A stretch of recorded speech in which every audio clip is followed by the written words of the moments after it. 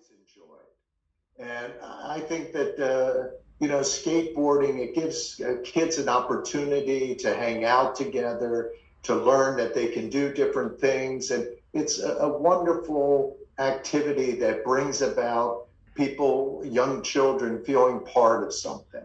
And that's what's really important in life that uh, we're able to grow and to develop and to feel part of a larger whole.